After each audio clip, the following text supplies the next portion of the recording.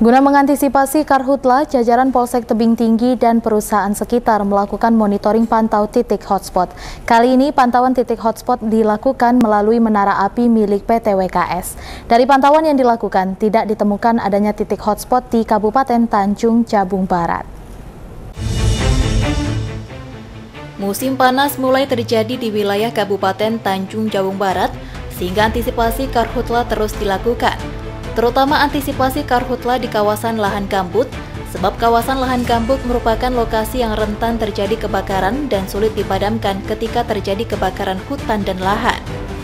Untuk mengantisipasi hal tersebut, jajaran Polsek Tebing Tinggi dan perusahaan sekitar melakukan patroli bersama serta monitoring memantau titik hotspot melalui menara api dengan ketinggian 45 meter. Kapolsek Tebing Tinggi Ibtu Windy Trias Kumoro mengatakan, Kegiatan patroli rutin antisipasi karhutla terus dilakukan pada bulan Mei ini, mengingat cuaca panas hingga rawan terjadi karhutla. Adapun langkah antisipasi yang dilakukan yakni kembali mengaktifkan masyarakat peduli api di desa, memasang spanduk himbauan rawan karhutla serta melakukan teguran dengan tegas namun humanis kepada masyarakat yang berpotensi melakukan kelalaian yang dapat menimbulkan karhutla dan asap.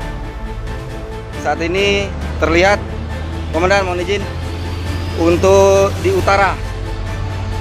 Wilayah utara Alhamdulillah tidak terlihat adanya hotspot.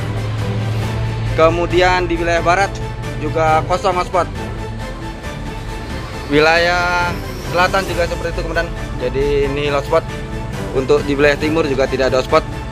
Cuaca sangat cerah kemudian untuk asap tidak terlihat.